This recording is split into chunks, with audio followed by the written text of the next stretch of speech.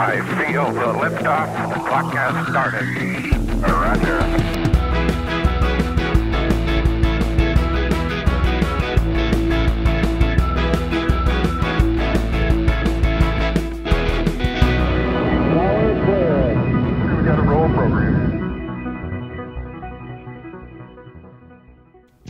Hello, everyone, and welcome to another episode of the Punk Rocker Moon Stomper podcast. As always, I am one of your hosts, Amy, and my co host, of course, is. I'm Jason.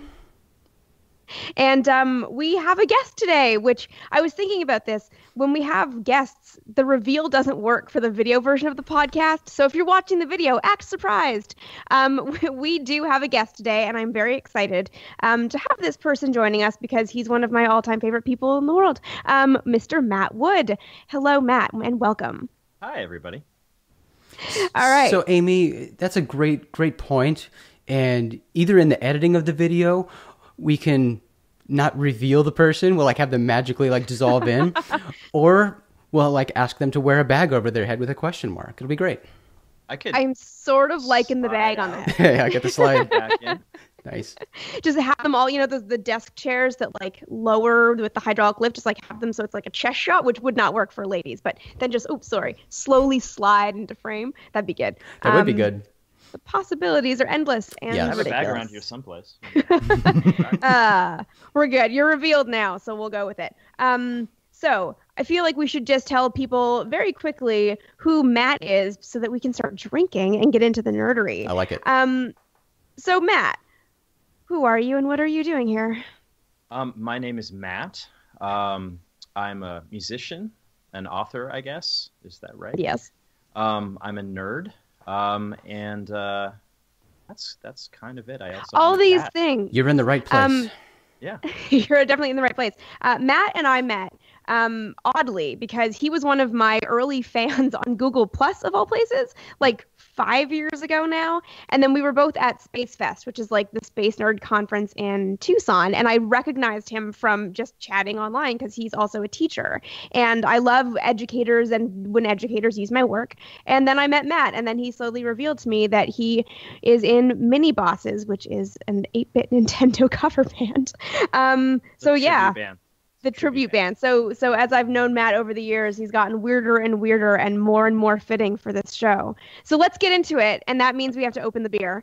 Um, I have a weird one today.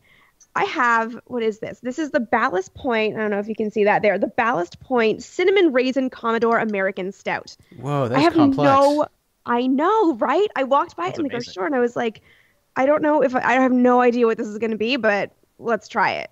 Ballast that's my Point beer is today. so fascinating with what they do. I really want to go meet those guys and talk beer I know. them. We got to get there at some point.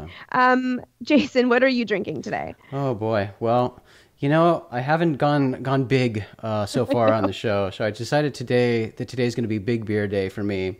And this one's really big. This is a full uh, 32 ounces, a, a quart of beer. And this is from the fine folks at the Phoenix Ale Brewery. This is the Biltmore Blonde Ale in their giant crowler.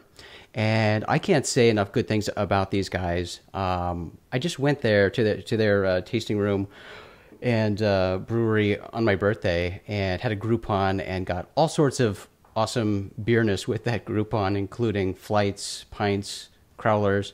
And when they found out it was my birthday, they gave me a free pint glass and some stickers. And then one of the brewers like became our friend, was buying us drinks. So really awesome people there. And it's an interesting place they have going because they're like two companies under one roof because um, Sonoran Brewing, another brewery here, uh, partnered up with them and decided to, I guess, um, Phoenix Phoenix Ale Brewery brews all Sonoran stuff like in the same location. Oh. So it's two breweries housed in one place. Nice. And Need get down there. and Phoenix Ale was actually I didn't know this until recently, but uh, it was started by like a, a craft brew legend, a guy who used to own many years ago owned uh, Pyramid in Washington. Oh, so when he sold nice. Pyramid Brewing, he moved to Phoenix and uh, was convinced to open a brewery here and open Phoenix Ale Hmm. Brewing. So Awesome. So and this reminds me that I am the biggest bitch in the world because I knew it was your birthday, but I didn't know the date. I'm sorry I missed happy belated birthday. It's okay, Amy, because let's see, this show I believe is is uh, people listening and watching now are watching this in March, Right. so we're we're many months Yeah. removed, so we're okay. Yeah. But I will point out, Amy, that uh, because a, a few episodes ago we recorded actually on Festivus, Phoenix Ale Brewery Yeah. has a beer called Festivus. So That's amazing. it. It's really good. it you is really have good. had it. Hmm? Um, what are you drinking now, Matt? Is the real question. What am I drinking now? Yes. Okay. So I've got, I think you can see it, Death by Coconut by Oskar Blues. Nice. Ooh. It's a Nice. nice nut brown. There's a little bit of coconut in it. It's a little roasted, and it just tastes really good. Excellent. Delicious. I Well, I feel like I've had that one. All right. Well, Matt cheated and is already Yeah. drinking. No, we didn't. We didn't tell you, but um, we're gonna let's let's start opening the beers. So there we go. Oh, All right. actually tough to open this gigantic beer. I, I can't believe how massive that can is. It- It's it- actually really yeah, funny. it's- It's And that has one of the giant. Does that have the giant sipping hole at the top? I forget what that's called. It actually doesn't. So So I feel like I should point out I do have a second beer here, so I'm not like you're not drinking five times the amount of the rest of us. We're all ready. To Well, it's compete. So- okay because you and our guests usually do that to me, so I'm making That's up true. today. Now- All right, cheers. all right, sounds good. Cheers, I'll have guys. to go get another. All right. Cheers. Mm. I almost need two hands to drink this beer properly. Like, I feel it's going to slip out of my hand. I, I, I know that feeling with my tiny hands. I, yeah. The story I always tell is when I got the iPhone 6, I had to return it for the iPhone SE because I just kept dropping it because my hands were so small. This is an interesting beer. My wife really wants right. to get the iPhone SE because she hates the big phones and because it doesn't fit in pockets or anything. Exactly. I'm 100% with her on that. I was so annoyed that it just kept like, I put it in my back and pocket and and I'd sit down and it'd just be like, it's like, this is, no, this is not going to work. Yeah. Um, all right. So where do we want to start? The thing is, it's because Matt hits on like everything that we do. So I don't know. Do we want to start with? Let's I'm a probably start- nerd, so let's probably start with music Yeah. because I feel like we're going to talk about so much more beyond that. There's- so and there's so much space involved in this this trio right now too. So yeah, Yeah. let's let's jump off with the music bit because that's um, yeah. Tell us. I don't know. I'm, I should like prepare questions and things, but tell us, um, mini bosses. For those of you who don't know what it is, tell us about the band and kind of what the genesis of that that uh, very interesting little uh, group was. Okay. Uh, well, we can we can go way back in time, I guess. So, mini bosses started out when I was in college back in Massachusetts with my friend Aaron and my other friend Ben, and we had a love of video games. And I think we started out as just doing some covers of like Nirvana stuff, you know, typical college band uh, house party stuff. And then we started working in little bits of Super Mario or Castlevania into songs that we really enjoyed. So it was kind of like we created these medleys that mixed all kinds of weird stuff together. And people at parties tended to, um, I don't know, mostly enjoy it, but we really enjoyed it a lot. And we did that for about, I don't know, six months maybe. And we then decided, hey, we're going to record an album. So we put together a couple of songs that sounded really good to us anyway. Now I can't even listen to that first recording. and we um, we put out that album, and then we all decided to move to Phoenix. Um, and this was like in 2000. And we did a little mini a mini bosses mini tour on the way out, playing out of the back of a Ryder truck. Um, got to meet a lot of really strange people, uh, and no one I think had ever heard us do this or heard anybody really play this kind of music, kind of metally, kind of punk rocky, because there's no vocals. We don't add any special effects to it. Um, it's just guitars, bass, and drums, and we play it kind of uh, as close as we can to the original, but we do make it a little bit kind of punk rock, I guess. Um, and then we got out here and uh, we went from there. We just started playing locally, and then we started getting to play somewhat nationally at some video game conventions and uh, it's it's been a, a really fun. Oh God, uh, seven. It'll be seventeen years or eighteen years this summer. don't don't count years. Yes. Okay, yeah. You'll feel better. me and we- really old. yeah. And we should point out, just for for people who are curious, that you you play drums. I Even though there are two guitars sitting behind you, that's going to throw people off. You do play drums. Yeah, don't pay Um, attention to those. So. How exactly, like, who came up with the idea, and like, why did you decide to say like, oh, let's do typical college Nirvana stuff, and then also Super Mario Brothers? Like, these two things don't necessarily go hand in hand, and then like there isn't does does sheet music for this exist or did you just like play video games a lot get really drunk and then like work it out as you went along Um, you know what? It's kind of the latter mostly. But back in the in the late '90s, there was Winamp. I don't know if you guys ever used Winamp on a PC, Oh yeah. and there were a few websites. One of them was called Zophar's Domain that had all of these ripped tracks from Nintendo games, and they were called NSF files. So you could get a plugin for Winamp, and then play all of the different parts of the songs that came from the Nintendo songs. So there was a square wave, a triangle wave, a noise file, um, and you could isolate those. So we would decide what instruments were going to play what, and Aaron and Ben would usually take apart the guitar and bass tones, figure those out. And if there was an, any like drum stuff at all, which there usually wasn't, it's usually some kind of strange noise. Um, I would figure that out and sometimes write my parts out, or I would just play along with what they had figured out and try and make that into more rock song. And I don't really know who came up with the idea first. I think it was my friend Aaron.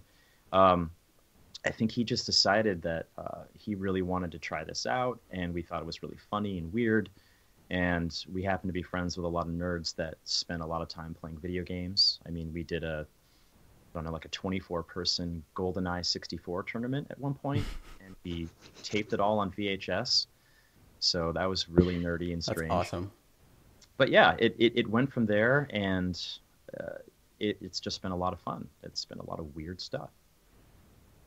And something that mini bosses, something that mini bosses have done really well, um, and I love that separates mini bosses from other video game bands or bands that play video game music, is that sticking to guitar and, and managing to create those sounds just with guitars and not using synths. That's incredible. Yeah, yeah. It's listening to Aaron and uh, my friend Robin, who's in the band now too. Um, listening to them kind of just emulate these sounds is, is ridiculous. And it's it's not easy music. I mean, it's really complicated. There's all kinds of running up and down the fretboard and um, not a lot of chords. It's all single notes, a lot of picking. It's just it's it's insane. So I have it easy playing drums, and uh, a lot of it's just you know I get to interpret what it is, and okay, I'm gonna make this big noise here and this other noise over here, and it turns out. But the the guitar stuff is really what I think people enjoy the most because it sounds a lot like uh, Metallica and Thin Lizzy kind of put together. So yeah, very cool. and you guys have done some pretty insane things. I mean i i you did show me once a video of you starting i think it was was it phoenix comic-con like a comic-con way back in the day of you with like a snare drum walking through the crowd. Like what's amazing to me is this band that's like so obscure has such a loyal following of because like game nerds are insane about the games that they love. Like how weird was it to be a musician in like that world. like I've only been to one con and it wasn't Comic Con. Like I can only imagine it's just sort of like, whoa. it's it's different. I mean, I've been to you know a lot of like big concerts and big shows where you know everybody there is a fan, and mini bosses. When we first started playing some of these bigger places, like um, there's a convention called PAX, the Penny Arcade Expo, um, and they started out as a online comic. I don't know in 2002. I want to I want to say. Um, and they started having conventions up in Washington, and they asked us to come up and play for their first one. And I think there's maybe five, six hundred people at that.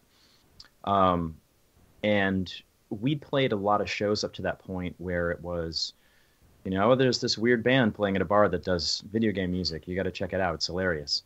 Um, to suddenly going to a place where we're with a crowd that actually appreciates it and um, wants to hear things. And I can remember at that show, we did a, a version of Kraid Metroid to finish up our set, and we had everybody turn the lights off in the house, and people with their Nintendo DSs had lifted up their screens, kind of like people would light a lighter out in the crowd, and then we're just holding them and, and moving them back and forth. Uh, it- Nice. it's it's so it, it's just so good different. and so bad at the same time. It's it, it was amazing. Love it. Yeah. And I I, I just remember love that that many people have Nintendo DSs in a crowd at a show. Like that's not what I would ever imagine happening, but yeah. yeah, I mean it. It moved on from there. I mean, Penny Arcade over the years started going up to 20, 30, like 60 or 70,000 people um, at their conventions. So there were times we were playing in front of maybe five to 10,000 people, Um, um, just filling up an entire convention center, and we were at the far corner of it. And yeah, that, that video, Amy, you're talking about um, is is hilarious. That was another Penny Arcade thing where they had a catwalk built out on the stage, and they had me go out there with a marching snare and a little contact mic, and I had to stand out there in the middle of like four or five thousand people and just start playing, and that was absolutely terrifying. And I played it twice as fast as I was supposed to. So Because let's be clear, every good like punk slash rock band really just needs a catwalk. That makes sense. no, um, that's that's pretty it does make a big difference. Yeah. good. Good. I'm glad. Um, but you're not much of a gamer, which is the interesting part about you being having been in this band for a you know substantial part of your life, and it A gazillion you know, years. giving you all these all these experiences. But like, you're not a huge gamer. How like no. go on? Well, it, okay, you're right. You're calling me on it, which is pretty pretty uncomfortable. I, I mean, like I did say this when I introduced you. Like you're one of my favorite people in the world because like you're my best friend, so I know things about you. Yeah, true. yeah, so I'm calling Yeah. you on it. See, that's true. Okay, so I should say that there's a way to clarify that a little bit. I never had a Nintendo, and Mini Bosses is exclusively 8-bit Nintendo. Um, and I had a, a Sega Genesis for a few years growing up um, at my dad's house, but I could only play that when I was seeing my dad, so maybe once every other month. Um, but I was really into computer gaming. I had a Commodore 64 growing up, so my stepfather would, uh, I guess, you know, steal illegally tons and tons of games, lots of inappropriate games that children shouldn't play. I got to play those. Um, but yeah, once we got into college, I never had a PlayStation. Um, I was just kind of stuck. And my friends growing up that did have a Nintendo uh, weren't always that great at sharing it, so I wouldn't get a chance to play Castlevania. So a lot of the times when I was learning the music, I knew what the game was, and I maybe played it for 20 minutes once when I was 12 or 13. But while everybody would know all of the movements in the medley that we were putting together by name, you know, this is the part of the, of the game when this guy shoots the guy with the axe and blows up or something. Um, I don't know what they are. So a lot of the times it was so hard for me because I'd be like, uh, what part is this? This is part six, part 19, because the NSFs were all cut up into chunks and some of them had 80, 90 parts. Hmm. So it was really difficult for me to get that together, especially when we were at practice and they'd be like, oh yeah, we're going to do this thing with Seamus. And I'm like, I I don't know what part that is. So yeah, being in a Nintendo cover band, I'm the one that never had a Nintendo growing up. But Right. although you didn't have a Nintendo and you didn't have a PlayStation in college, in college were you still playing uh, PC games? Uh, no, I didn't. I didn't really have a PC. I had some friends who had um, like X-wing versus Tie Fighter. Okay. Uh, again, this is just showing how old I am. Um, and I lived next door to a guy uh, who had a Sega Saturn, so we got to play some um, Saturn games, which didn't last long, but they're still pretty fun. And yeah, actually, I think when I moved to Phoenix uh, and Aaron and I moved in together, we actually had a PlayStation or a PlayStation 2 at some point. So that was kind of my first, oh, my own personal um, uh, gaming console that I got to have. And then years later, the band, um, we all bought ourselves uh, Xbox 360s for a while. But yeah, now I, I still don't even have a console. I Yeah. play some PC games. I play um, Kerbal Space Program obsessively. Like I noticed the other day on Steam that it says I'm up at like 800 hours. Oh, So impressive. yeah, yeah, I should have probably put some of those 800 hours to better use. But hey. Nah. Amy, did you No. did you have consoles growing up? I had a Super Nintendo. Okay. That's all I ever had. My cousin Yeah. had the classic Nintendo, and because he had that, I wanted to. I wanted something, and then he got a Sega, and that was it. Between My whole family does the three. So consequently, the only games I ever played are like the classic Mario games. Mhm. And they're still the only things I played. Yeah. Um, I have them all on an emulator now, Hmm. and I still have not beaten Super Mario Brothers three. Yeah, because my so like growing up, my mom would say like you know okay you can have a half hour of Nintendo time for a half hour of piano time. Hmm. So it was never like I didn't get to just like sit around and just like beat a game in a weekend. I don't think I beat Super Mario World until I was like in my twenties. I also So, yeah, I do have to say that that, kid. that it's pronounced Mario in the states, not Mario. Sorry, thank Um, you. Yes. Yes, you, you you guys have a have a longer history than I do, so you can call her out on that. I was going to be nice. Yeah. Thank thank you. I She's yeah. Canadian though, Anyways. so we'll, we'll let that polite go. and industrious people. Uh, Jason, what about you? Are you? What's your secret gamer? Well, Oh, yeah, so- getting over the cold. My voice just cracked. Your secret gamer voice. gamer. Stop it, Amy. Still um, my favorite Simpsons voice. Yes. ah. Um, teenage Homer. so I didn't, yeah, I didn't uh, have a platform um, for the longest time. My parents didn't uh, ever seem to want to buy into the whole video game thing for whatever reason.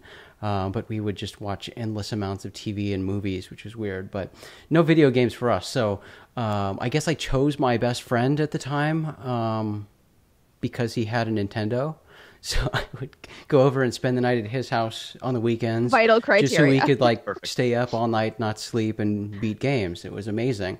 And then I would come home to my non-video game home and be really sad and couldn't wait till the next weekend. And you know, I thinking back now, I don't think that my friend and I really liked each other that much. But um, you know, I was somebody to play games with. So and Yeah. he had the platform for me to play, so that was great. So that was the NES. Then eventually, I guess my family finally got um, a Super Nintendo.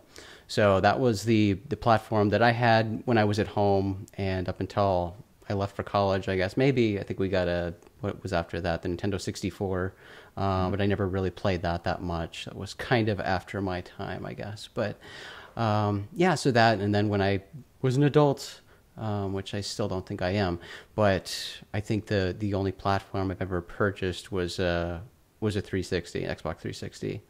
So I still have that. I th- actually think I have a PlayStation 2. I don't think I. I think I bought that because there was a, a great Star Trek game on that. But have that, uh, the 360, the Super Nintendo, and maybe one other. But yeah, I've just got a got a bunch of consoles sitting and have a, a TV dedicated to video games. You still have all the consoles. Oh yeah, Wow. Impressive. Nice. I'm a My- am yeah, a my hardware person and and a, Yeah. a like a a tactile person and a thing person.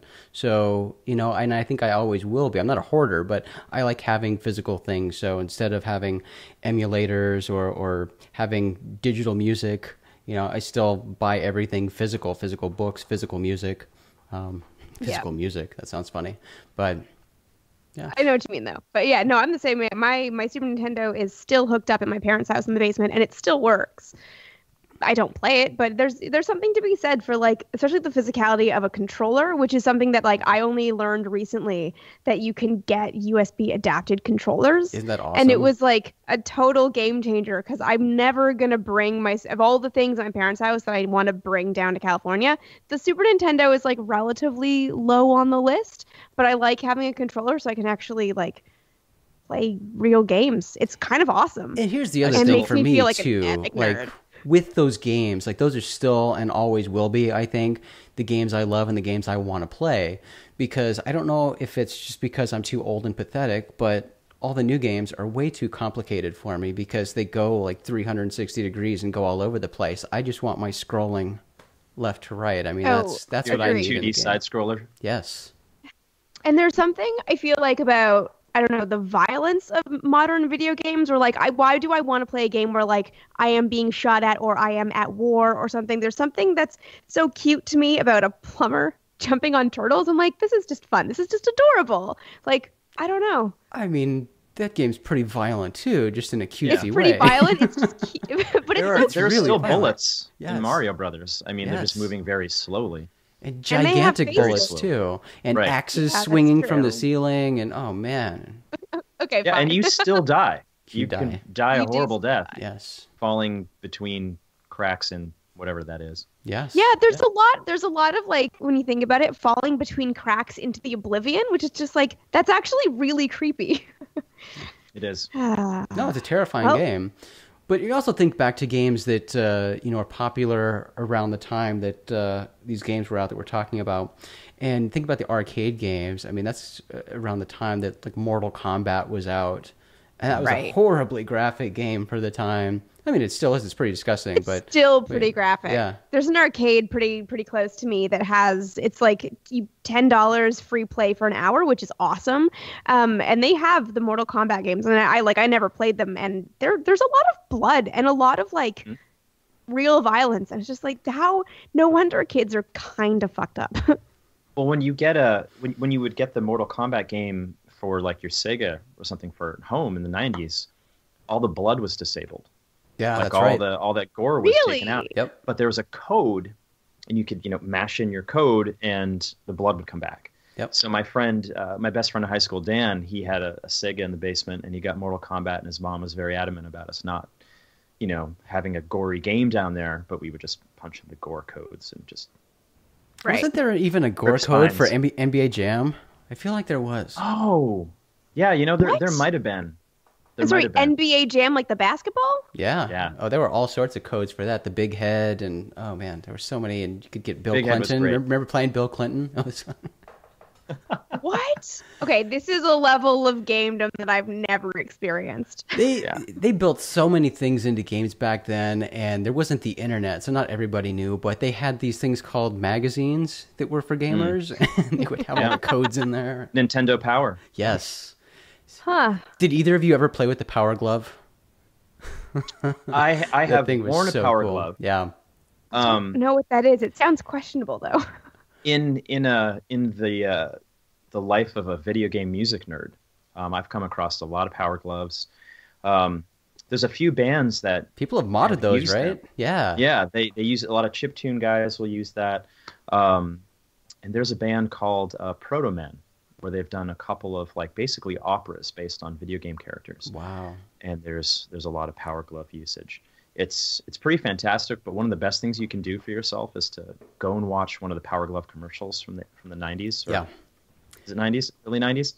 They're Those hilarious. are just awesome. The Yeah. definition What of is awesome. the power glove?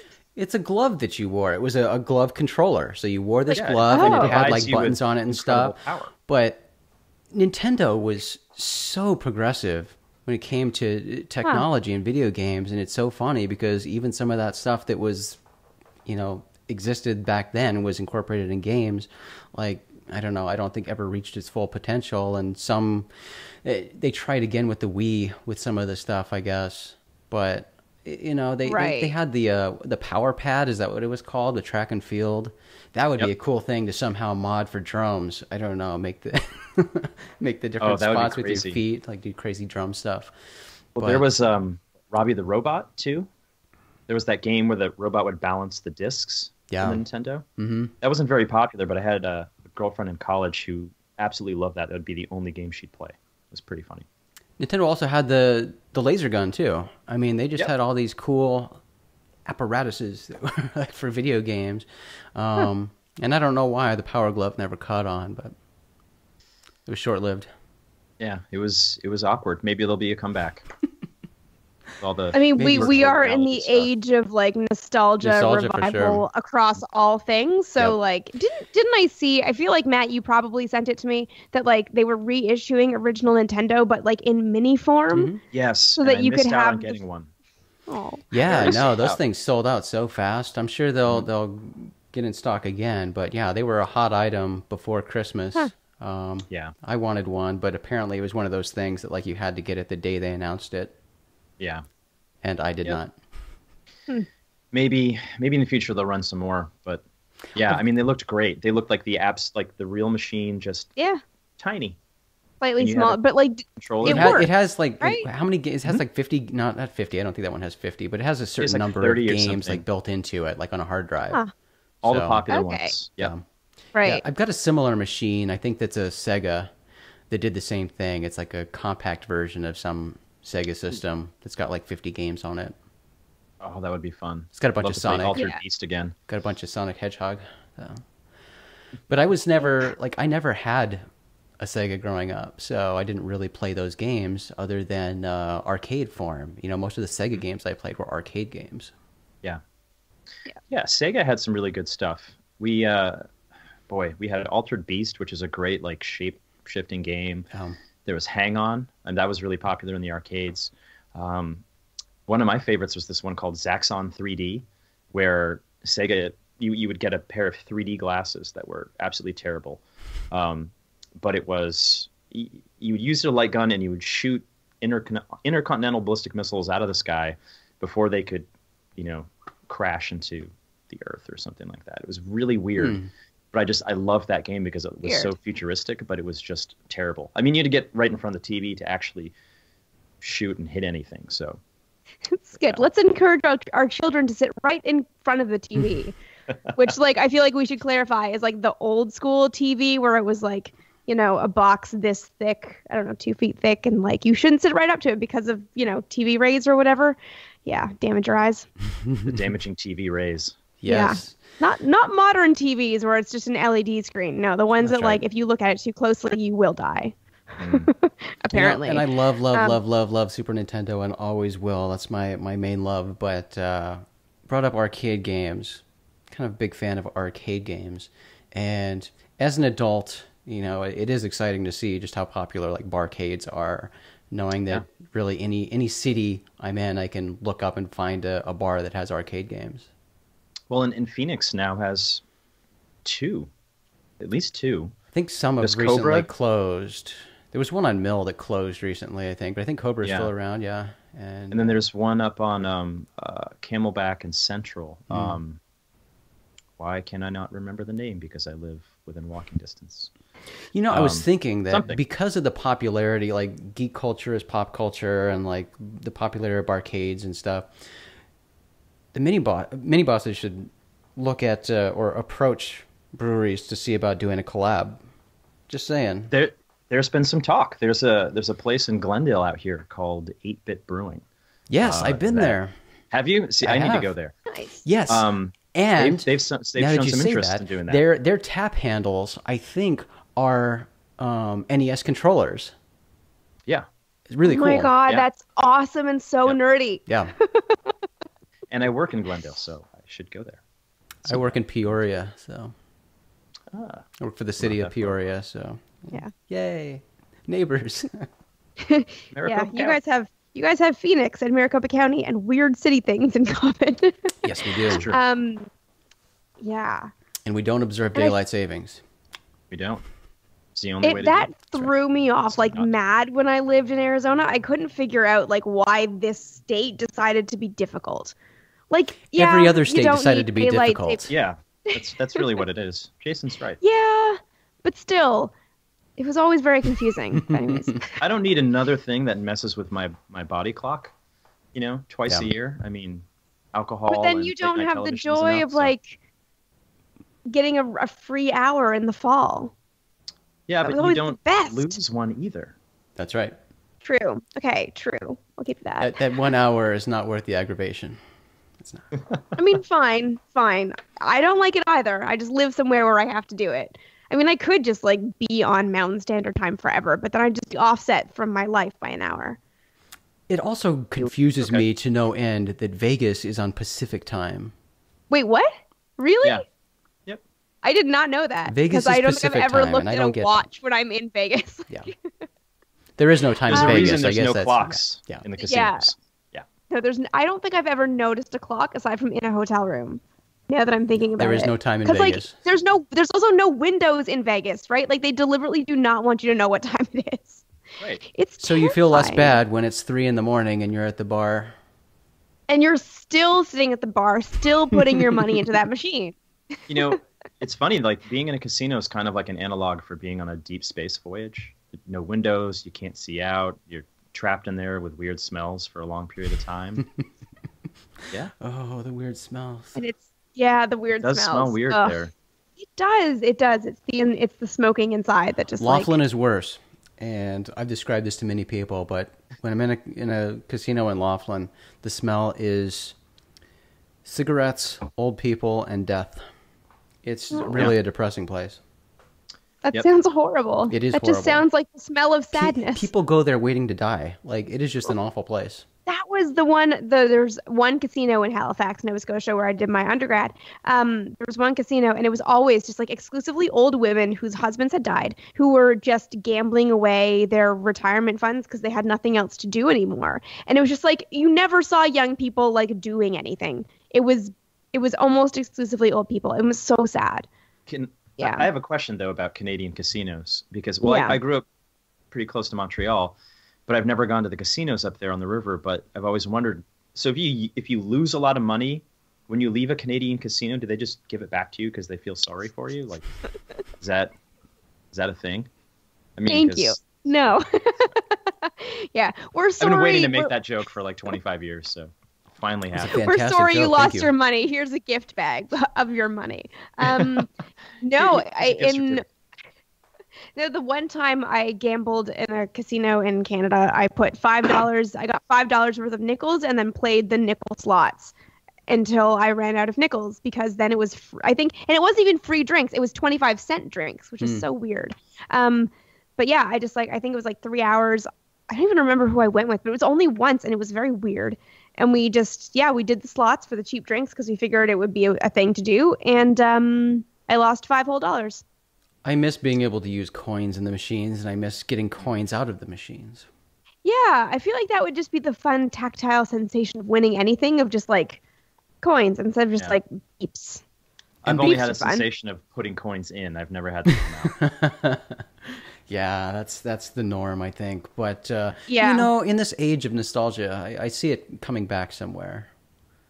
Somebody The- the digging up those old machines and Yeah. just having a casino. Physically full putting of in a coin, pulling the thing, and having that that sensation of yeah, Yeah, they probably you're have the working old. for your loss. Actually, places still have those. They don't have the old uh, slot machines, but they have the old cigarette machines, which is always funny to see when you walk by those. I have seen those. Oh yeah, I've seen the those in like mid-century modern cigarette yeah, machines. It's Yep. so weird. It's so weird that they're like in bars. yeah. I don't know.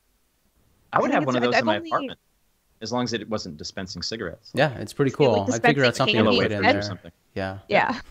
the boxes of candy. It would work. It would totally work. Um, I feel like before we get into space, because we're going to get into space soon, because we should. I don't know. Oh, I've got a good segue. Do you have a segue? Because I was going to ask I- Matt about his other band very briefly, because I don't think, Jason, that I told you about this one Treasure Mammal. Okay.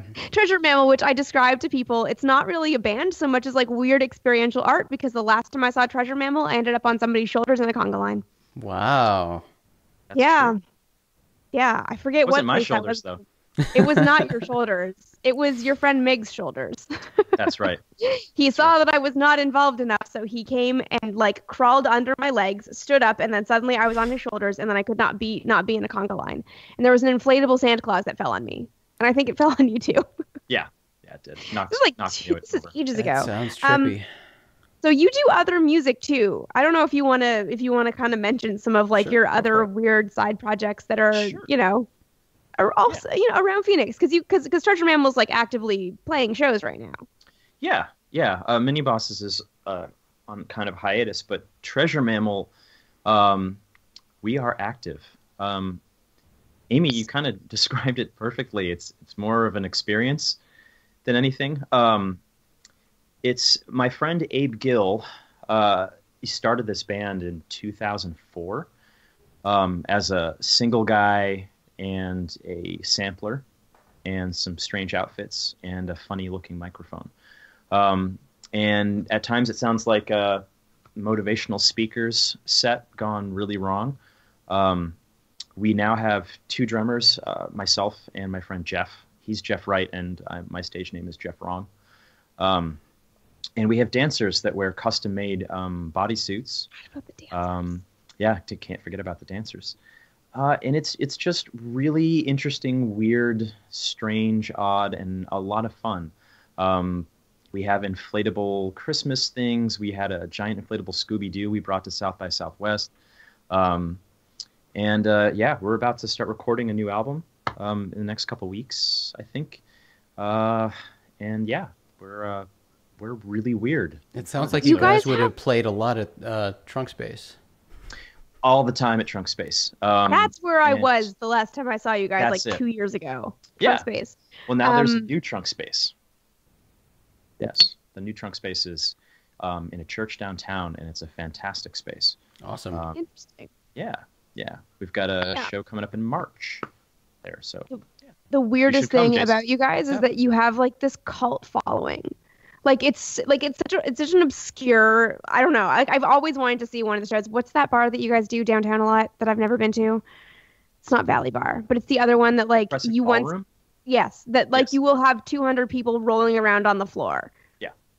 Like it's like it's just so weird. It's like it's really an experience of like oddity and strangeness and you costumes. guys do that at and- Crescent?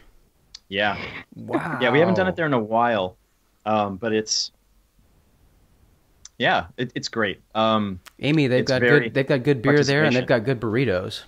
they Do do, they? have really Yeah. good bean and cheese burritos. Yeah. Yes, I and now they have a, a deck good outside. I have not been there since Oh. the deck, but I've driven by it. Yeah, it looks awesome. It's Nice, nice. Very nice. So yeah, that's that's your other. I just feel like you can't not mention like if we're going into all the no, weird that's of like of the awesome. I'm gaming glad you stuff, that like up. gotta mention Treasure Mammal. It's honestly, I think I've seen Treasure Mammal. I don't know, like six or seven times. It's it's like the weirdest. I never really know what's gonna happen, and it's like the best part is is like you guys played in L.A. once, and it was one of those like like I forget where downtown, but I'm never going back there ever again because yes, Pearspace. close. Because it was like some okay, good, because that was the most annoying venue in the world. It was like some some rich kid who like self-produced because of money their own album and like had an album release party. The you guys are just words. You guys are supposed to play at like 11, but this Yeah. kid just played for like three hours because it was like masturbation for him, and then you weren't on until like 1 a.m. and you still Yeah. got people rolling on the floor and like like doing all of Abe's weirdness with you. It's just like it's such a weird, like it's such a trip to see that Yeah. happen. So Yeah. weird. That was. I think that was the first time you saw Treasure Mammal. Uh, I think that might have been. I think it might have been. there, there were like six. You people guys were all so at the end of the angry. Night. it was, it was I, Oh. yeah, it was the strangest group of people that were there for this kid's like self-produced horrible album of like whiny stuff. I don't know, it was just terrible. But yeah, it was it was it was interesting. It was an experience. We'll we'll put it at that. Yeah, it was. Um, It was a good time. So since we've moved away from gaming, I feel like Jason, we probably killed your segue into space. No, because I'm going to bring up gaming Okay, again just to have the segue. but we were talking about arcade games, and have have either of you played Michael Jackson's Moonwalker? I played Years the Commodore ago. 64 version of it. I think. Really? Okay. It It's is- that the old one. it's awesome and creepy and awesome because the whole point of the game is to like save the children. So you're Michael Is that Jackson, you go really around and like dance, you like kill the bad guys by dancing. and your like special move is dancing and then you go and like save the children and all the children like huddle around Michael. It's it's it's I remember this. So so Yeah. wrong but kind of epic. Yeah. I do. And it- there's a remember that. boombox, right? Where Yeah. the music's supposed to be coming from. Yes. Yep. And I forget, like the That is- credits of it are, are so funny too because it's so like very much egocentric Michael Jackson. You know, it's like Michael Jackson presents or produced by Michael Jackson. Like his name is just everywhere. And he's just this god who's coming to save everyone with his dancing. We need a little window of this when, when you guys edit this, just to show Oh, what yeah. this looks like. Because Oh, I, is- I remember seeing it, and it's it's fantastic. It is incredible. I've seen it Yeah. uh, now in, in a few few of the barcades I've gone to, and uh, that's just endless fun, especially when beer is involved. Is it at Cobra Yeah. in Phoenix? Because if it is, I don't know. I don't know. It could be. So weird. I'm gonna have to check on that. But uh, anyway, okay. So Moonwalker is sort of space related. So we can transition. Oh, one one other thing I wanted to bring up, and I don't think Mini Bosses ever ever uh, played this song, but one of my favorite sort of kind of space related songs in a video game ever would be from DuckTales, The Moon Level. No, we if you're didn't. familiar with that, you should listen to that song. That song is kind of epic, and I know it best from from the um Game Boy version, but I think the music is the same in the Nintendo version, in the NES version. But yes, DuckTales, the Moon Level, awesome music. We we have played the Ducktales theme. Really? Not Oh, the the theme, nice. But there's another 8-bit cover band called The Advantage. That's I don't think they're around anymore, but they did do that. That's awesome. I'm gonna have to check that out. All right, let's talk space, Amy. So moonwalkers. Um, who's your favorite moonwalker, Matt? Because I Uh, know you can name them all, anyways. Besides Michael Uh, Jackson. Yeah, real Um, moonwalker. You know what? I got to go with Gene Cernan. Hmm. I, I, I really do. I mean, I also love Al Bean a lot because he's just really cute.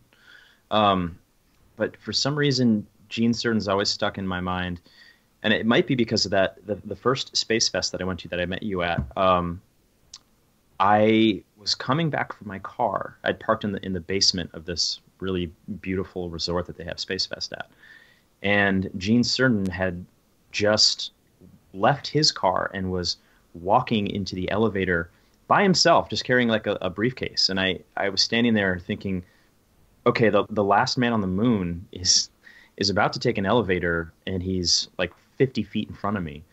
I need to be on this elevator with this guy. So I, I didn't want to run and be like that terrifying guy that's suddenly running at someone, you know, who's elderly. But I did kind of run and try to get right to that that that uh, elevator door and, and sneak in there and ride with him. And I just caught it as the doors were closing, and then walked up one flight and saw him again. But it was it was pretty impressive. And then I, I guess seeing him at the the Space Fest in Pasadena, what was that? Two years ago now? Three years Three ago. years now? ago? Yeah, three years ago. I happened to be outside, like on the phone, almost every time that he showed up and got out of his van. So he was always there, and I was just taking these weird pictures of Gene Cernan climbing out of. I've seen those pictures. Yeah, yeah, actually, now that you mention it, I've seen those Yeah. pictures. You had so many pictures of like, it's so funny 'cause it's like an indistinct old man getting out of a car.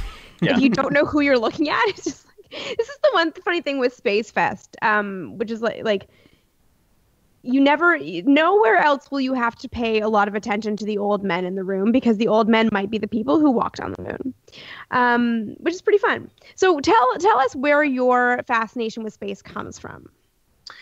Well, um, I think it comes from my first grade classroom. Um, I wasn't a strong reader, and I, I I was put into this thing called a multi-age classroom, which was like an experimental thing in the early '80s, where the idea was kind of like uh, you cram first, second, and third graders all into a room together with one teacher, and the teacher would teach the third graders, and that would trickle down to the second graders and the first graders. It was kind of like trickle down education. Um, so I didn't learn to read properly. Um, but there was a space book uh, on a shelf that my teacher had gotten. And I remember picking it up, and it was all pictures of men walking on the moon. So there was all this you know, beautiful, like, color pictures of Apollo. And I was maybe like seven, I guess, at the time, seven or eight. And that was the book, like, I would go to every time that I wanted to take something home with me um, to read or do a project on. And my parents were always like, well, you know, what, what do you, what would you like to have as like a birthday gift or a Christmas gift? And that kind of spawned me asking for anything I could get my hands on that was related to space. Uh, so I'd get all these um, books about, you know, supersonic flight and uh, things like that. And then for the, the very brief time in my life that I actually had cable television growing up, we had Nickelodeon. And uh, I was watching all these strange British like sci-fi shows. Um, and then my stepfather introduced me to the original Star Trek. And I got completely obsessed with that. I started reading all the Star Trek novels. Um, then I went into uh, Arthur Clarke novels. Um, and at that point, I was like, okay, yeah, I'm going to be an astronaut. And um, that's kind of how I started to point my life. And that obviously didn't happen because I'm still sitting here on Earth talking to you guys. But um, that just led into like a lifelong fascination with it. And um, even through high school, like I convinced my high school science teacher to create an astronomy class Hmm. And a meteorology class. Um, and we went on really cool field trips. And then I went and did astronomy for college, and yeah, so I've never really kind of given up that on that first book that I read in first grade or whatever. And I still love going back and watching all the old Star Treks and getting obsessed with. Uh, uh, started finally started watching Deep Space Nine because I didn't watch that in the '90s, and now I'm three seasons into that. So yeah, it's been it's been a really it's been a really uh, lifelong kind of passion. I guess. Did you watch Next Generation? Oh yeah, Okay. yeah. I I will put that on and watch that whenever I need to just zone out. It's it's fantastic, and I have a few friends out here too that also love it that I can quote episodes at, but That's not awesome. as many as I would like. Yeah, Next Gen became my obsession, and then you know, I mean, yeah, I do credit that um, kind of starting, not really starting, but fueling my obsession with space and space exploration. Um, and I never really got into the original, and I've tried many times. Um, I like it for what it is, but Next Gen was always my love. And uh, watched Deep Space Nine when it was on. Never watched Voyager, but only in the recent in recent years started watching Voyager because I became friends with an actor on Voyager, and I was like, yeah, I should probably Really? watch Voyager. So Oh, that's cool. so interesting, and I've got to ask, since we're we're both uh, in Phoenix, ha- have you been to the Challenger Space Center? I haven't, Okay, and I, I've actually Really? yeah. Even I've been there, and I only lived there for three years. Make I it haven't. happen. I I have Well- a bit of a sore spot for for them actually. I tried to intern there out of college um, at one in Massachusetts, Hmm. and I, but I don't really think I understood the idea of that. Uh, and hi Pete, that an intern makes no money, um, and I got kind of frustrated with them. I, I've tried. I applied a few times out here to them when they were looking for uh, positions, like maybe ten years ago. hmm Um, but yeah, it's it's in Peoria, isn't it? It is in Peoria, to get up there. and uh, you know, I would at some point. I need to go back to. I haven't been for a couple years, but I feel that it, at some point it's kind of like an obligation, but also something that would uh, benefit me selfishly. Should get some fellow space geeks together and and approach them and try to help them do something more awesome than they do. Um, Yeah. Amy will probably agree, but you know, it- it just it should be a lot more awesome than it is. It was disappointing. It was one of the first. I think I went there. I'd been living in the states for like a year or so, and I was really excited to see like a thing with space things. What are you? Pete's like debating scratching his face here. it's pretty great. Um, yeah, I, I was. I wanted it to be way more exciting than it was. Like the coolest thing they have is like a simulator of the space station, which is like a room that is built to look like the space station. Not really. Like they have some like honestly they have really cool models like that's fun but yeah they need to up their game Yeah, that's. I think that was th- their big thing was they would have, um, you know, kids groups and school groups up there to do like mock missions, which is which is really great. Um, and I tried to do that for some of the schools that I've taught at, um, but I could just never get permission to do any field trips, Hmm. which is thanks Arizona. Um, yep. but yeah, it's that's another thing. Like I, out here in Phoenix, I mean, we've got this desert where there's so many, so much opportunity for dark skies, and there's so much space science going on in, in ASU, U of A, and um, Discovery Channel Telescope is up at NAU. But there's just so little outreach, especially in Phoenix. Like I never, I never really hear about any of like uh, like the Saguaro Astronomy Club or Phoenix, um, or the Phoenix uh, Astronomical Society doing much in the way of public outreach And or it's anything like that. insane because Yeah. both ASU and U of A are so actively involved in things happening in space right now. Yeah, it's. I mean, it's different. It's a completely different story in Tucson, where you've got U of A and the Flandreau uh, uh, Planetarium. They do stuff all the time. I mean, they do things with bars.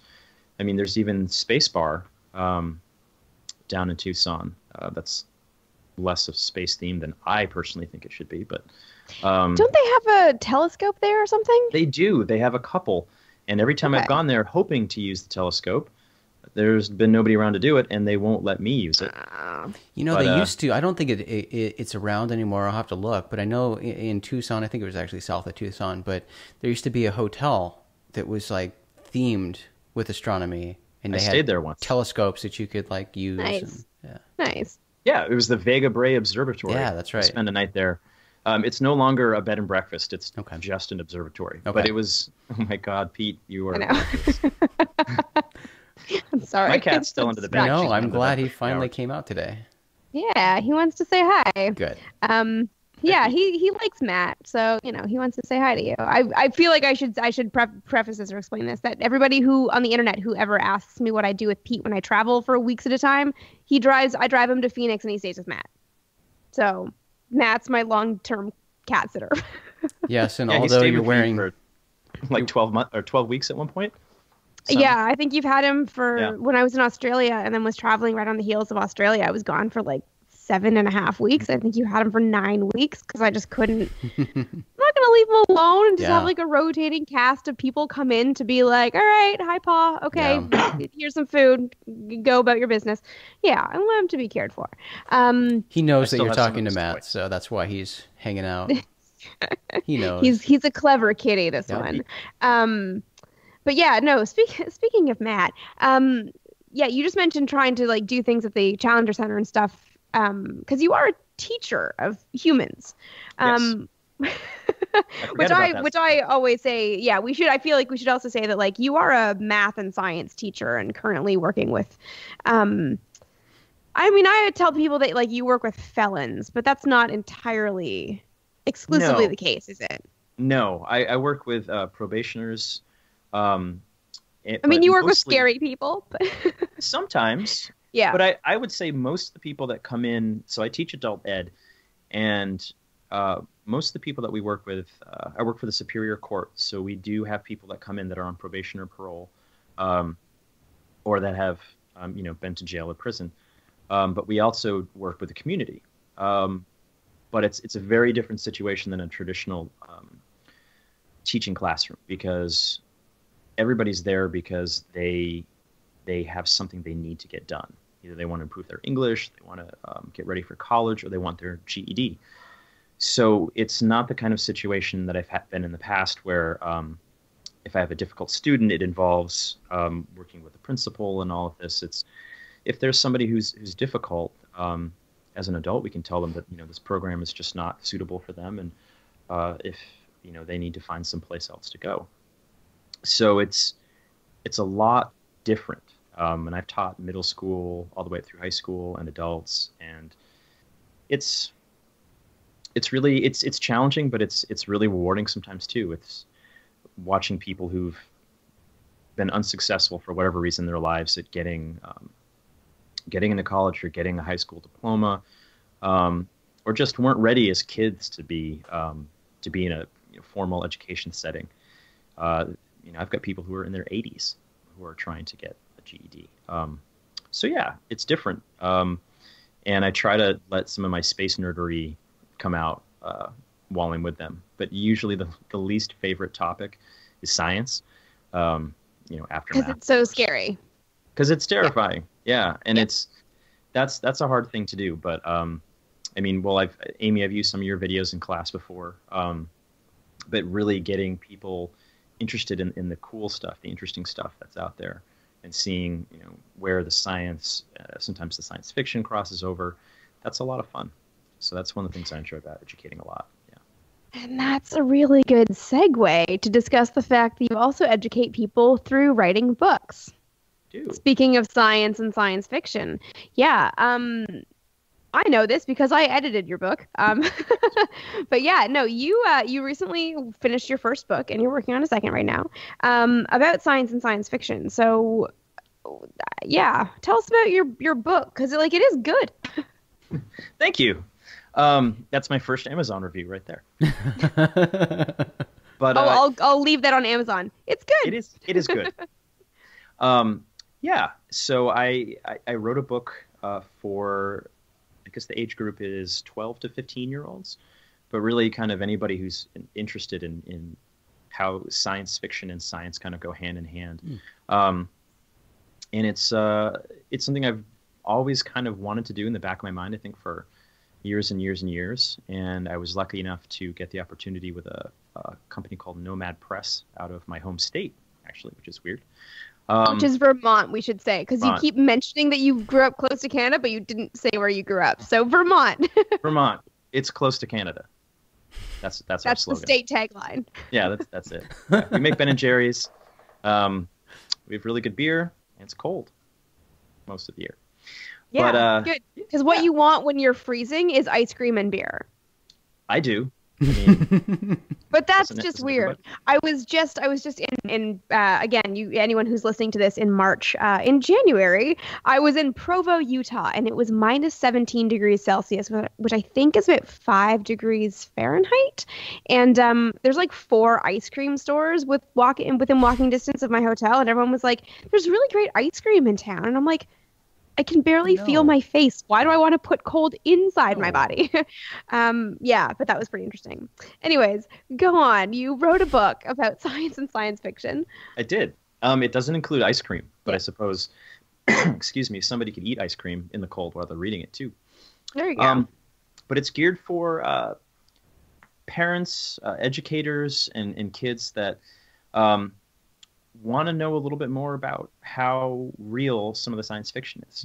Um, for example, I guess we talk about, uh, you know, whether or not we can actually clone a dinosaur, um, bring them back to life. Um, how likely, uh, you know, robots are to be our friends and then, you know, murder us in our sleep and take over our lives. Um, faster than light travel, um, finding space aliens. I talk all about that in there, and it's it, it, it was really a lot of fun for me to write, um, just because they were all things that I loved growing up. I mean, I loved the Jurassic Park movies, and you know, Star Wars and Star Trek, and all these you know great novels that were coming out in the, in the 80s and 90s, um, and that was just kind of a natural extension. Um, it's also got neat little activities or labs for um, people to do uh, with their kids. So if you've got like a, you know, a miniature human that likes to blow things up or break things, um, they probably won't do much damage with the stuff that I wrote in there. But there's things like uh, getting your own DNA um, out of your cheeks, which is kind of neat. Um, and uh, boy, I'm trying to think of some of the other ones I'd have. Um, For some reason, uh, so when I did my 23andMe um, testing for DNAs, we had to spit in a vial, right? So whenever you when you just said um, getting DNA out of your cheeks, all I can think of is a kid being like, "Look, mom, I found my DNA." Yeah. it's true.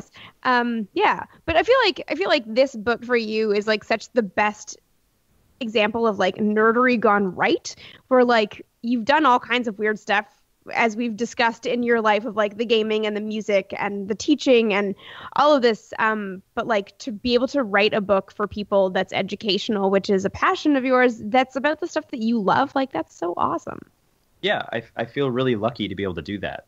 And and I think about, you know, when I was a kid, like a, a book like this, um, I I would have read from cover to cover, and it, it would have been one of those things that I would be, you know, bugging my parents with all the time, like, can I do this? Can we do this? Can I, you know, do this interesting thing? Uh, can I watch this TV show? Tell me more about this. I want to learn about space or dinosaurs. And science fiction now I think is is a lot more know, everything about being nerdy I think is a lot more mainstream Yeah. but um, there's still a lot of things that people just kind of take at face value in science fiction. So I think it's really valuable for kids to also see or anybody to see what the science is behind them. Um, because science fiction and, and science fact they influence each other. Um, and it just it keeps going back and forth. Um, and there was even a NPR uh, thing on the other day about how a lot of entrepreneurs are now starting to look at science fiction stories, even like classic science fiction, to think about what's the next big thing. Like, I mean, five years ago, none of us would have thought of probably coming up with something like Uber, but now it's everywhere, and and people use it all over the world. But who, you know, coming up with an idea like that you know who who could have come up with something like that so science fiction's full of these things um, and it's yeah i mean we're we're living in a, a sci-fi society at this point Wow. Yeah. Yeah. As a in my uh, career as a journalist, one of my favorite things to kind of throw in periodically were articles kind of showing how sci-fi is becoming sci-fact or, or Star Trek becoming reality, things like that, highlighting uh, advances in technology and and uh, you know showing how they were portrayed on Star Trek or other shows and how we have that technology now. It's kind of awesome. So uh, you know, it's really fun to see that, um, and kind of highlighting it to people because again, I think people are very casual observers and you know don't really pay much attention to to sci-fi or, or things going on. So kind of highlighting how it uh, influences or or has become part of our daily lives is really cool. Yeah, yeah. It's Do oh, go, go ahead, Amy. Oh, I was just gonna say, and it makes like it, and what's so great about that is that it makes the science so accessible through Yeah. science fiction. Like Yeah. even if you don't like science, you can see something in a movie that you you put no effort into wanting to see beyond like, eh, why not? Here's my like, what? How much is a movie these days? Like fifty bucks? Like I don't know. Movies are insane. I haven't seen a movie in a really long time, and I only go to a second run theater, so it's two dollars. Um, but yeah, somebody who just like sees something in a movie and it's like, this is super cool, and then you can be like, well, did you know that they're actually developing this technology? And it just like gives people a reference point to actually understand what it is that that science is doing instead of like it becomes less scary and way more exciting that way and that's Yeah. so fun to like see that inspiration in people So See, I- fun. I'd love to see something like that at the end of Star Wars. You know, during the crawl, like why not have like a little half-screen thing that says like, you know, hey, here's some of the science behind some of the stuff that you saw. Like, you know, can we actually travel faster than light? Or, Yeah. you know, can someone actually build a real lightsaber? I mean, But- there's all kinds of content like that. It would be great to see it, you know, piggybacked on things like you know popular movies or TV shows. I think, um, uh, well, Amy, you might remember this because of The Martian, but wasn't there like a like a NASA um, trailer before the movie or something like that when it came out? Even it might have even been crowdfunded. I don't Hmm. know because I only saw the movie. This is like the worst way to say it, but I only saw the movie at the world premiere in Toronto because I was covering it for NASA Mhm. TV. Um, and there was no there was no preview, no nothing. Like the preamble was the director talking about it, and then they immediately went into it because it was everyone, you know, this Roy Thomson Hall in Toronto, which is like this massive concert venue.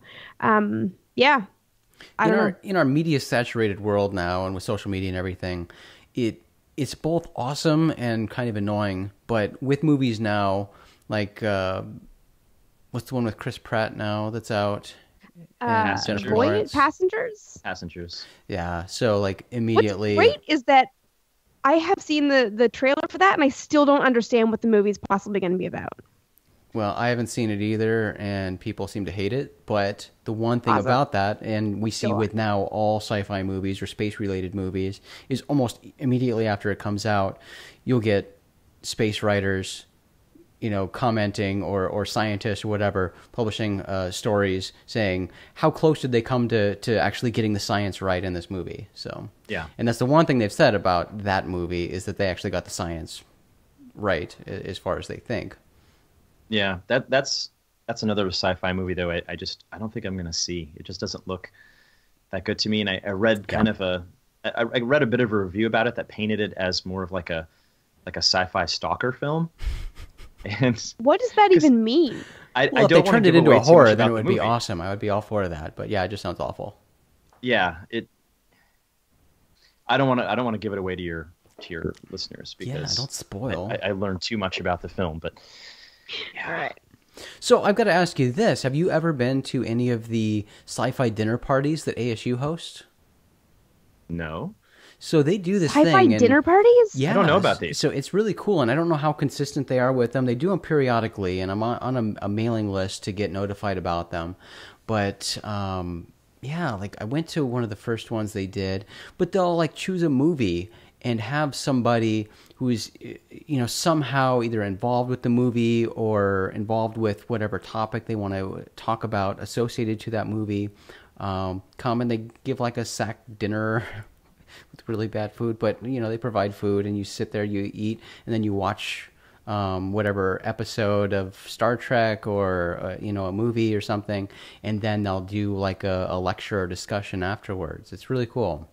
I need to do this. I went the one I went to. They did the the Gorn episode, from uh, Star Oh. Trek, and uh, yeah, I mean, I, I I don't know how they choose who they're going to have as their guests or how they tie in these topics, but uh, you know they do kind of spread across sci-fi and make it very very broad and interesting. But they do that, and I think they do it monthly. So I'll, I'll if I remember, I'll send you the link um, Yeah, to their website because they have a a lot of website for it, and uh, yeah, it happens right on ASU's campus, and you know that's always fun going back there after so many years because it's completely transformed since I went there so many decades ago. Um, but the coolest thing now, walking on that campus, is seeing like the the model of uh, the Curiosity rover. I haven't seen that. They've got a, a life size get out to life size check it out. replica of Curiosity there. It's pretty cool. need to do this. You These should all cool definitely go. things that can be ASU has neat stuff. They do have neat stuff. And I've got a friend, my friend Matt works in the physics department Hmm. over there. Need to find him. Go do the things. No, They've oh, done some stuff with their planetarium too, but um, yeah, they. I need to get on more lists and actually go and interact with peoples. I know. Well, I, I- that's that's another thing too about like science and, and science fiction is uh, I know a lot of science centers and planetariums do um, like adult nights, Mhm. um, but I haven't heard of um, the Arizona Science Center doing anything like this, yeah, which I think would be fantastic. I mean, the last thing I saw that they're doing is a, another Metallica light show in the um, in the planetarium, which is great. I mean, I'm not a huge Metallica person, but you know, I I I hope that maybe they're doing stuff where they're involving the science and everything. where seems like it would be more appropriate if they did Queen or something that sort of had a tie-in. Yeah, yeah, but Yeah. oh well. Little Flash Gordon would be wonderful. Well, see, it's going to take people like us, like going and being annoying and saying, Yeah, "Hey, you know what you need to into do?" doing something. Yeah, Yeah. Yeah. Hmm. There's you no know the kind in of people that, person. every business hates. Hey, let me tell you But what you need to somebody's do. got to do it, right? Yeah. yeah, no, that's what it takes. Absolutely. Yeah. Yeah. Hmm. So, like when we've talked about Amy doing doing uh, you know sky watches or things like that, uh, you know, we should do that sometime. We'll do one in Phoenix, and we'll Yeah. we'll publicize it and get some people to come Yeah. out. That would be fun. That would be a lot of Yeah, fun. we could definitely find a good event going on and do like a live show from there or something. Totally Well, do there's, things.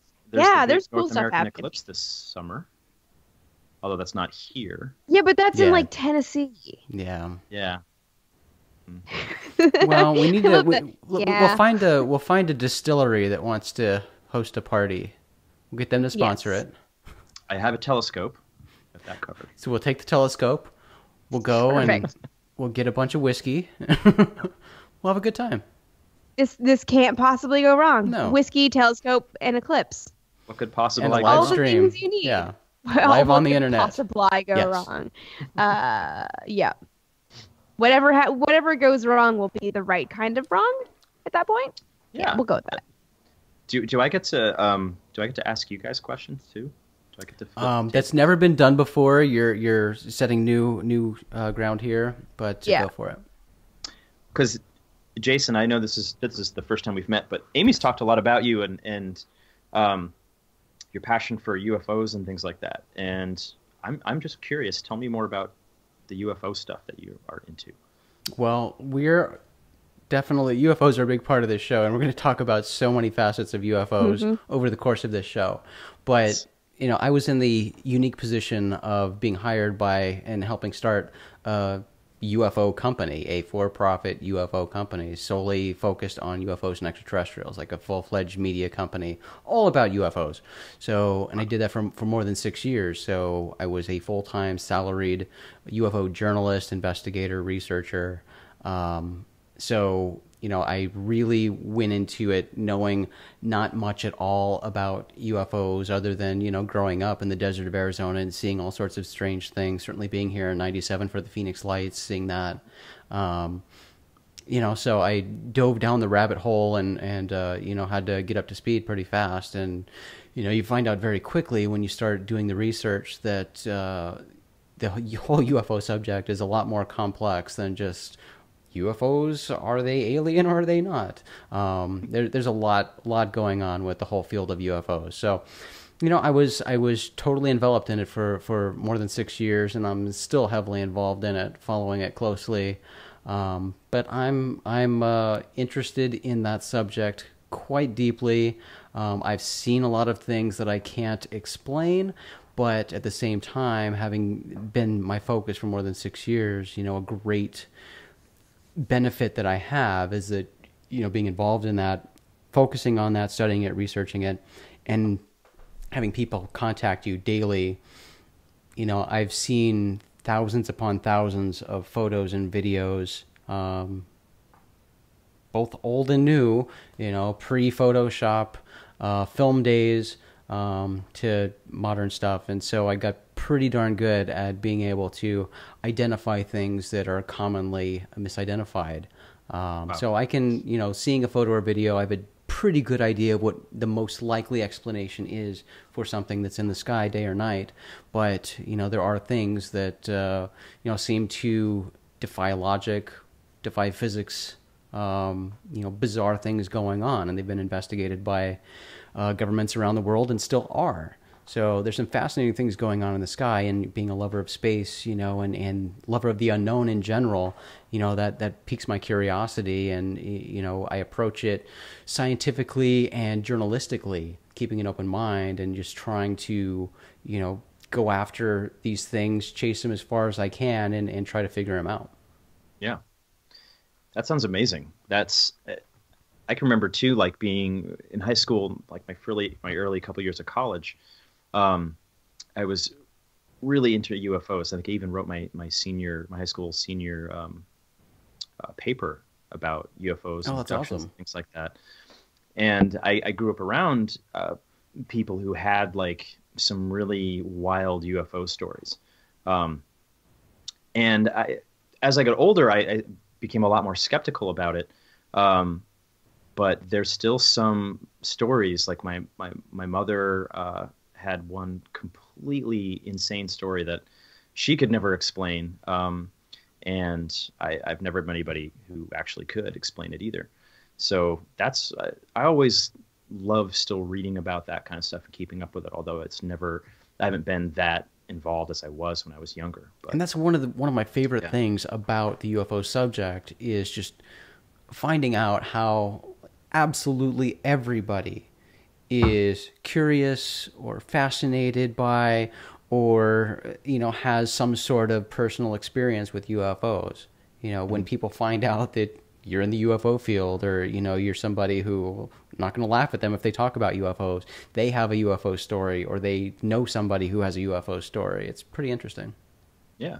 Yeah, and it's it's sometimes it's sad too when a, a lot of people will you know dismiss that kind of stuff out of hand, but it's also a great tool to get people talking about things about science and critical right. thinking and mm-hmm.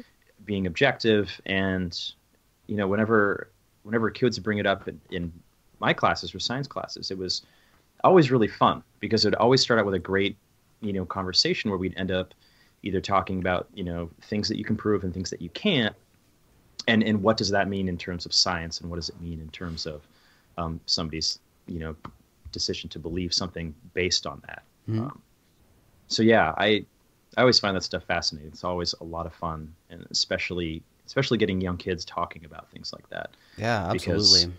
You'll find it. I find out that you know some kids might really be into dinosaurs and not care about, um, you know, uh, space as much. But for whatever reason, aliens gets everybody talking. And you know what? A lot of a lot of schools, mm-hmm. especially in the UK, in the past. Um, five to ten years, I'm going to say, um, have really incorporated the extraterrestrial theme in a lot of their curriculum, and they'll uh, use it for for writing assignments, creative writing, and things like that. They'll go so far as to stage like UFO crashes on the school grounds and have the kids go out and they'll have like local police departments and stuff there kids will go out and they'll basically have to like conduct investigations or act as journalists um, you know find out what the details are the evidence that was collected or whatever just everything about the incident that happened and then write a story about it Wow. but that's pretty Weird. common. Yeah, That just gave me a, a new idea for one of the chapters I'm writing. awesome. yeah. That I, if I was a kid, I would have loved doing that. yeah, because as a science teacher, I mean, you can use that and all kinds of stuff. There's forensics, there's writing, uh, there's using scientific theory. You know, uh, yeah, that would that would be fantastic. Well, and about with the movie Arrival, Hmm. Arrival, I still haven't seen it, but uh, you know, there's a whole communication thing too. I mean, that's uh, an amazing element too. Um, it just really, there's so many things that you can use to really get kids thinking about, you know, so many different areas, Mhm. and not just kids too. I yeah, I was gonna say it's it's adults too. Yeah. Like Yeah. it, it'll pique that curiosity and want make you want to learn a bit more. And it's just a great teachable moment for anybody. It's one of my favorite things. Really? One of my favorite things too um, in the UFO field is the uh, I have several friends who focus on essentially UFO philosophy, just you know, kind of thinking about questions like that, like Yeah. you know, communicating with extraterrestrials. So and even in like the whole SETI field over years, I mean, it's in the 80s. I mean, that was uh, most of it was a joke. There are hardly any, you know, uh, researchers that were taken seriously if that's Yeah. what they wanted to look at. Mhm.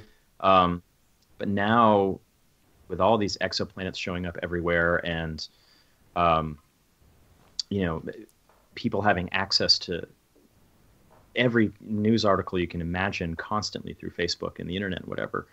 Um, now it, it's it's a much more common thing. I mean, you know, you've got all kinds of different versions of SETI, and everybody's doing different research, and it's all you know becoming respectable now. That there's actually people feel like there's something to look for. And as awesome as that is, it's so funny because in the UFO world, in the UFO community, um, SETI is largely regarded as not necessarily bad guys, like the governments are bad. Government is bad guys, but SETI's frowned upon, Really? and that's so baffling because you think here's mainstream science getting mainstream funding, getting mainstream media coverage. They're looking for intelligent extraterrestrial life. What more could you possibly want? But Yeah. uh, but no, no, SETI is frowned upon, and uh, you know largely because people misunderstand what SETI, what especially the the SETI institution does. Um, you know they focus on the listening for radio signals, and that's a very small part of what the SETI Institute does. Yeah. Yeah. Hmm. I mean, a lot of uh, the Kepler data and what we the, the the exoplanets that have been discovered, a lot of the people at SETI Institute have played a large role in that. They do some awesome stuff. I'm a big SETI fan. Yeah. I think I think a lot of people just look at SETI as like the weirdos who sit around trying to talk to aliens. Yeah, and uh, you know there are people in the UFO End community. story. The reason they don't like them is because of Yeah. that that radio Give it a bad um, focus. Because you know, their aliens obviously wouldn't be using radio waves, and that's a big criticism of SETI. Mm-hmm. Like people think that if there's this advanced civilization, they're not going to be using radio waves for communication. But SETI's also looking for laser communicate la- laser based communication. I mean, they're doing all sorts of things. So Yeah. Right. Yeah. sorry, I just had to go on my my SETI love round. That makes me unpopular, but Nah, nah, do it, do it. I'm Um, I'm two thumbs up for All right. search for extraterrestrials. Yeah, I'm I'm find it very interesting, but uh, yeah, I don't know. I haven't really like engaged in that part of the space world much, so I will. Well, and there's all sorts of interesting things going on right now. I mean, from alien megastructures to you know uh, fast radio bursts. You know, lots of different mysterious things going on that you know have been detected for years, and and scientists around the world have been focusing attention on specific things that have happened, and still no consensus on uh, identifying sources for mysterious signals. So that stuff is always exciting. Yeah. yeah. Yeah, no matter what you believe or what you know, like it's awesome to realize that there's so many things that we can't explain. Like even if we'll eventually figure it out, it's like that unknowingness that's like really fun to just like and it's on such a with. grander scale too. I Yeah. mean, we don't know. Like we, we hardly know anything like- about our planet. Like, there's so many Yeah. things here that we have Yeah. no idea about. We don't know about this little planet of ours. And like every year, you read like, oh, scientists discover four thousand new species. Wow, where did those come from? Yeah, how like, are we, we don't know anything that's in our ocean. Like, it's crazy. So, Yeah. like these mysteries in space are just like like expanded exponentially. It's crazy. I love it. That's what's Yeah. that's what's great about science, because there's never Yeah. going to be a shortage of things to to find or Things to look for. Yeah. Discover. Yeah. Yeah, it's so cool. Yeah. Science. It's awesome. Speaking of science, sh- shortage, how are you guys doing on your beer? Um, I, well, I'm we gotta ask you because you're mine. the. I've been trying I'm- to I'm- drink very fast, Yeah. but uh, still got beer. still have some. I mean, I've I've at this point I should say like I've cracked my second bottle, but I'm only here, so I'm not gonna finish it. But I have finished my first one I'll actually have to go to my refrigerator I'm I. to get mine, which is on the far end of my massive home that I live in. So it might take me um. Five seconds to do that at some point. We we, we How could much- we could wrap up the show. We don't have to finish my giant Um, beer, guys. Sorry, I decided to drink how- a quart of beer, but No, I like that you decided to drink a quart of beer. Um, I I'm had to make up for my time. previous episodes where you always had a big beer and I was not playing the big beer I game. really, I had a big beer in the fridge too. I think I have like Space Boy or Space Party beer, like very Nice. appropriate beer. But I really want to try the cinnamon raisin Commodore Stout. Yeah, I don't blame you. Which is Sounds not good. as like cinnamony as I was expecting it to be. It's like a really just nice, easy drinking stout. Hmm. Yeah, I'm a fan. I like it. Can't complain about that. Um, yeah, I'm also just looking at the time. We, we're in an hour and a half. mm-hmm. I don't know. Should we should we wrap it just for the sake of our listeners? People are, God, why don't they shut up? I know, I know. I love that we um I again I don't know, Matt. You were asking listening- questions. Do you have any more questions you'd like to ask? Um, hmm. as Jason tries to finish the massive beer. Pete I don't know where Pete is. I think he's probably sleeping on the bed. Oh, Well, I'm glad he made an appearance. It's always a good He show did- when Pete makes an He made appearance. a good appearance too. He, He stared did. right into the camera for a second there. So if you're listening to this, you should go and check out the video podcast because you'll look at Pete's face. Yes. I felt like I heard him purring at one point too. Oh, that's You awesome. might have. I was trying to get him to stop. Like, you know, he likes to rub his face on everything to mark it as his own. And I don't want him rubbing up against the mic while we're recording because you'll just hear like a. So, yeah. But you might have heard him purring. Yeah. Well, let's let's wrap the show, Amy. I'm not going to force people to wait around until I finish my beer. I've chugged as much as I, I can, but it's all I can think of is um because our first episode just went live for those of you listening, um and there were a few comments that were you know remarking on the fact that our first episode is an hour and forty eight minutes long or something, like it's nearly two hours. And they're like, oh, I'm gonna have to like settle in for this. I'm like, oh, I feel bad, um, but I don't feel bad because like this is awesome and this has all been like really really fun stuff to talk about. Um, so we should ask you, Matt, as we ask all of our guests if you could go to anybody in the solar system, um, forget about things like how to stay alive and whether or not you technology can breathe. restrictions. Yeah. Yeah, all of those things. Uh, forget about those. Where would you go and why? Well, okay, so this changes for me often, and I, I think about this question a lot. Um, I'm going to go with uh, Mimas, which is a moon of Saturn. Hmm. And it would have an amazing view of Saturn. And it also happens to be the desktop background on my computer right now that I put on yesterday, which is a Chesley Bonestell painting, who I'm obsessed with mm-hmm. and would like to get some of his prints someday. So yeah, today I would go to Mimas because I'd like a nice distant view of Saturn in the sky, and That's awesome. very amazing. Very good Is it- answer. Just yeah, we've never had. I mean, that's definitely an obscure moon that I don't think anybody knows exists. Um, how far? How far is it from Saturn relative to to the other moons? Is it one of the outer more the outer more larger moons? Uh, you know what? I don't remember what order it is. It's it's not a it's not a ring grazing moon, um, but I don't think it's out quite as far as Titan is. I think it's a little bit closer, um, but I could be totally wrong, and somebody will probably correct me in the comments below. Well, Well, you've put I your disclaimer out there. so happy with your answer because it's so different from anything we've had, and we, we like Yeah. different. So that's great. Yeah. yeah, you're because you're like a proper space nerd person. Yeah, I, I mean, I'm sitting next to my space duct tape, so